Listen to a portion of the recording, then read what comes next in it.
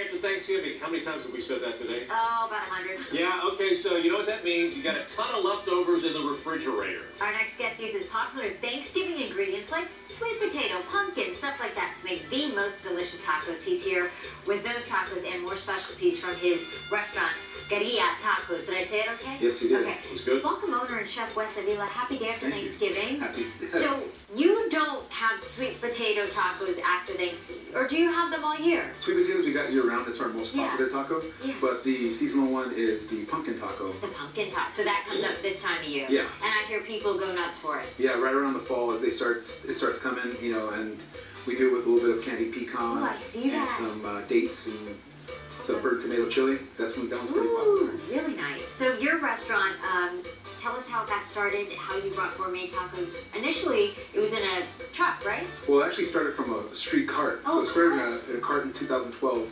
and grew into a truck uh, in about a year later. And we ran the truck for about, I'd say about four and a half, five years. And finally, the last incarnation is the restaurant we started in July. That's pretty fast going from a car to a truck that quick. Yeah, well, we were, it was forced because the police actually came and shut us down. okay, so you had to do something. We something. had to do something, yeah. Okay, so uh, this is the This is our most popular one. This is the sweet potato taco. We all have one. Oh, yeah. try? Yeah, it's Yeah. got uh, br- uh, it's got uh, almond chili, fried corn, a little feta cheese, and some scallion. So that's our like number one seller. It's like really really popular. Oh, that. What's the crunch on top? It's fried corn, These are corn nuts. Mm. no. Yeah. Exactly. Oh, Yeah. wow. That is yummy. Mm, okay, the pumpkin taco, which you kind of explained this Mhm. time of year. So it's the pumpkin taco we roast in the fire. So we use uh, hickory and white oak, and we so we roast it like just open fire, peel them, and then we caramelize the pumpkin into the Beautiful. This has got a kick in it, Oh, buddy. yeah. Oh yeah. What is this here? This is the uh, eggplant taco. It's a collaboration I did with Cacique, and so it features the panela cheese that's been fried on the bottom. Yeah, this is the one you guys have right here, Okay. and it's got a little bit of uh, the queso fresco on top for some sharpness, and it's kind of like what my prediction is on the future of of food and trends that are going to be happening this year. And what is that? That's a lot of open fire cooking. Okay. So uh, the eggplants are cooked right, o- right on the embers, and um, we toss them with uh, a little bit of curry, a little bit of um, olive oil, and so on the pickup we you know re-saute them and add all the sauce. Wow. You know how to jazz up a vegetable. Yeah, Really? I Yeah. mean, wow. Also seafood. seafood. Yeah, we got the. Um, this is our shrimp tostada. It's got avocado, a little bit of salsa, some uh, furikake, pickled shallots, and avocado. Who the what?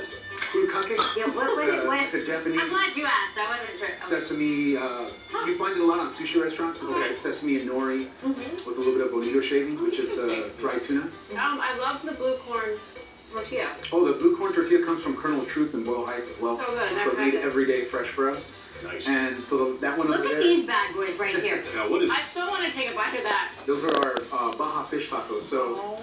it's like my take on kind of tacos that you get in Ensenada. So I didn't they're, even see the. I didn't even see the, the shell. They're so big, the tortilla. yeah, we do we do a three ounce piece, and it's uh, beer batter, fried, and it's got chipotle crema on the bottom, pico de gallo. Oh, It's more traditional, but Yeah. uh, you know, just a, a little bit jazzed up for what we do. Also got breakfast over here. Breakfast burritos. Yeah, breakfast burritos. We just opened a to-go window that's actually available from 7 a.m. to 11 o'clock, nice. five days a week. So you can just walk up to the side of the restaurant. You don't even have to go in, and you can order. We have a veggie burrito, uh, bean and egg burrito, and an avocado and bacon, and that's what I have for here, and uh, with a little bit of fermented salsa. All Got right. creative ideas. All right, it's my turn. Yeah. Guerrilla Taco. There you go, Glenn. Located in the Arts District of downtown Los Angeles, Wes uh, also has a cookbook called Guerrilla Tacos Recipes from the streets of LA. For more information, you can go to guerrillatacos.com or follow Wes on social media.